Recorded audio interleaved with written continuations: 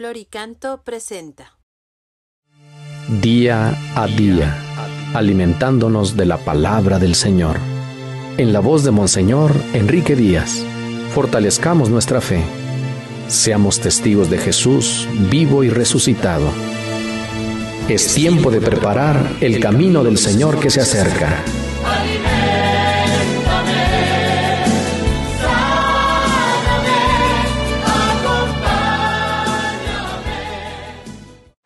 27 de noviembre, primer domingo del tiempo ordinario, Evangelio según San Mateo 24, 37 al 44. En aquel tiempo Jesús dijo a sus discípulos, Así como sucedió en tiempos de Noé, así también sucederá cuando venga el Hijo del Hombre. Antes del diluvio la gente comía, bebía y se casaba, hasta el día en que Noé entró en el arca y cuando menos lo esperaban sobrevino el diluvio y se llevó a todos. Lo mismo sucederá cuando venga el Hijo del Hombre. Entonces, de dos hombres que estén en el campo, uno será llevado y el otro dejado. De dos mujeres que estén juntas moliendo trigo, una será tomada y la otra dejada. Velen pues y estén preparados, porque no saben qué día va a venir su Señor. Tengan por cierto que si un padre de familia supiera a qué hora va a venir el ladrón, estaría vigilando y no dejaría que se le metiera por un boquete en su casa. También ustedes estén preparados, porque a la hora que menos lo piensen, vendrá el Hijo del Hombre. Palabra del Señor. Llega nuevamente el Adviento con sus luces, sus campanitas, sus cantos. Hay quienes miran con indiferencia este tiempo que parece lleno de romanticismo y de recuerdos. Hay quienes ya no se atreven a soñar sofocados por las adversidades de la pandemia, de las guerras y de los tiempos difíciles. Adviento es estar en vela, estar preparados y vigilar.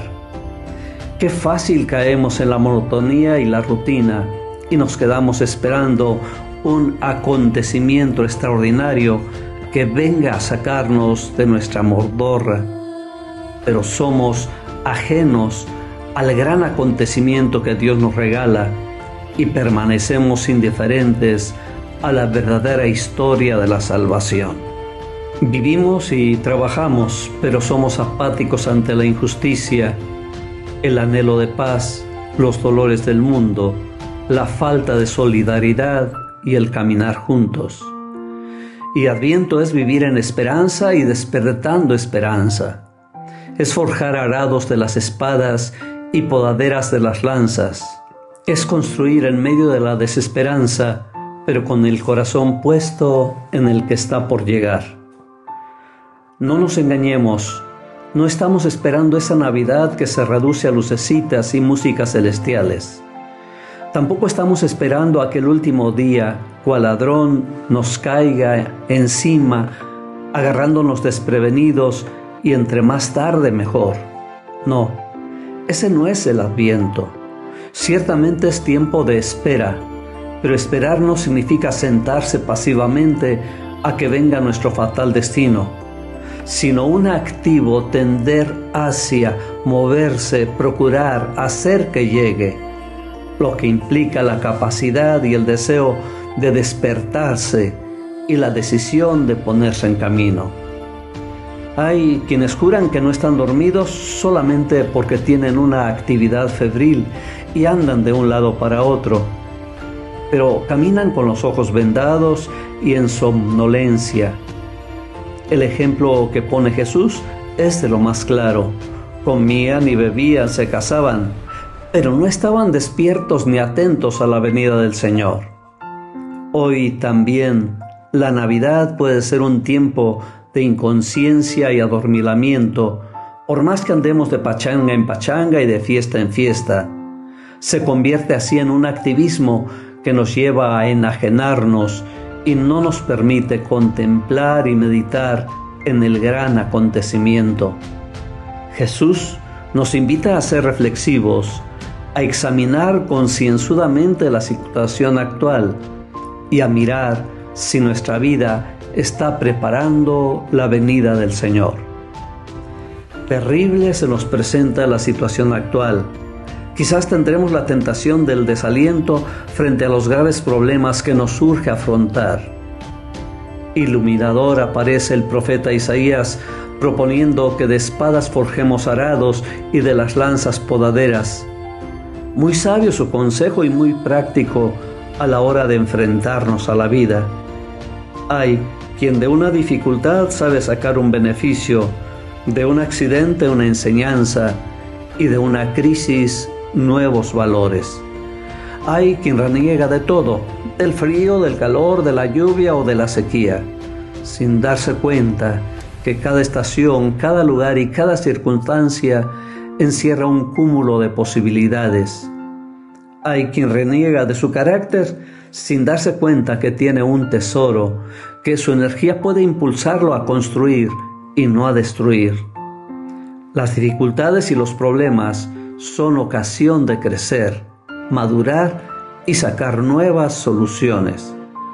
Los más grandes inventos han nacido de grandes carencias y muchos de los más grandes hombres y mujeres se han forjado gracias a las dificultades que encontraron en el camino. Isaías nos da el tono fundamental del adviento con un lenguaje lleno de símbolos.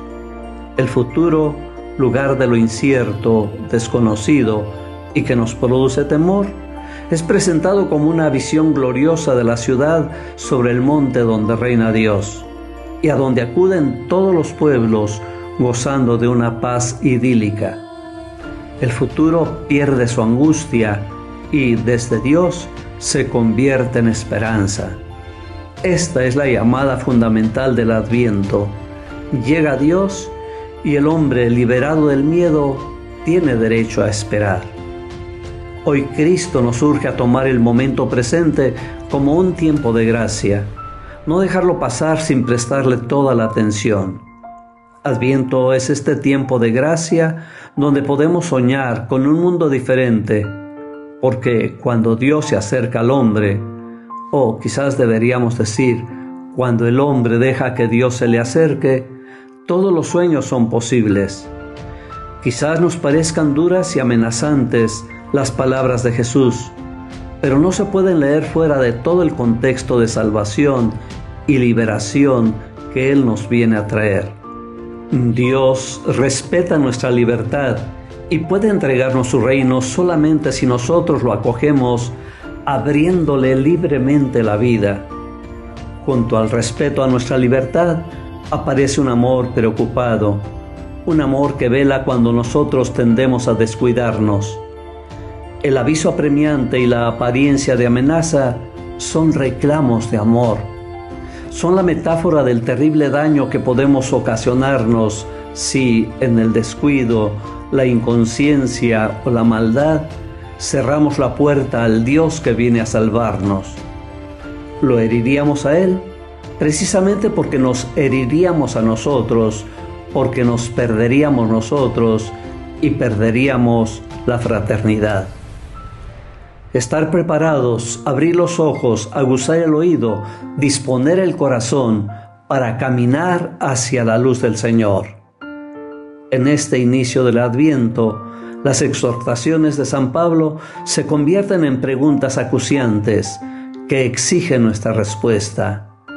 ¿Qué o quiénes hacen que estemos dormidos?